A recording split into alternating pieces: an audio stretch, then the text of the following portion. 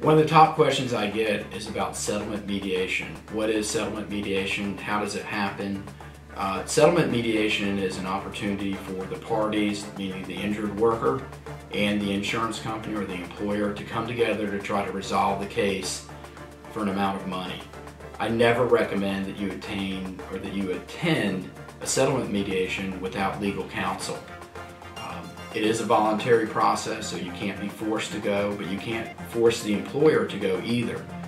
I highly recommend that if your case uh, is ready for settlement, that you contact my office at 770-645-8801 and let me explain the settlement mediation process to you in more detail. Let me give you a free evaluation of your case.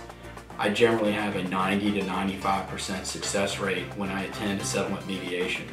So please call me 770-645-8801 and I'll be more than happy to give you a free consultation.